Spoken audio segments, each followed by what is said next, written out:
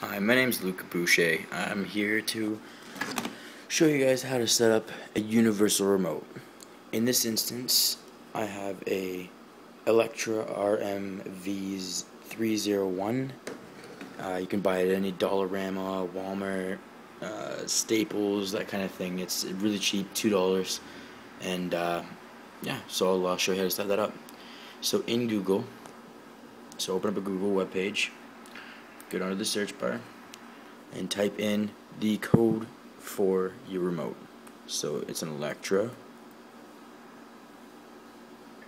RM dash RMV301 Universal Remote Control Codes and Programming. So go ahead and click that.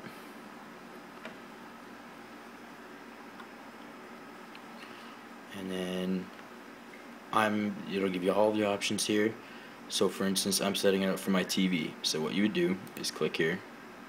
Choose your kind of TV which mine is the Toshiba. So click on Toshiba. There's your codes right there on the side.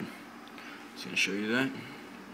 So that's for a Toshiba TV you scroll down and all the instructions are right here. Button short.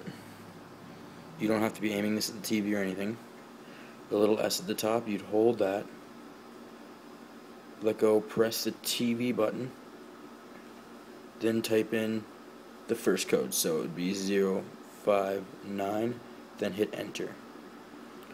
Then go over to your TV, which is over here, and press to see if it works. See? Like mine just did. Now, if it doesn't work, try the other four to ten codes that could come up on your TV, and eventually one will work.